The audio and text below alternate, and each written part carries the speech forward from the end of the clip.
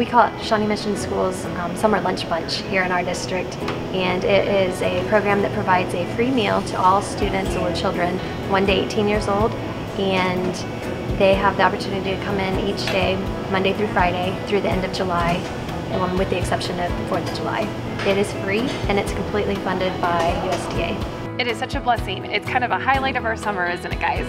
Yeah, we really appreciate it. It's awesome. I see students coming in um, riding their bikes and then they're off to the pool afterwards. Or I see grandparents bringing their grandchildren in and um, they don't normally see their um, grandchildren eating the school meals. So it's um, great to see that um, family interaction.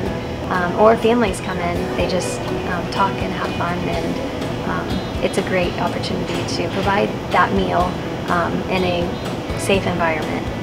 Have a good lunch, guys.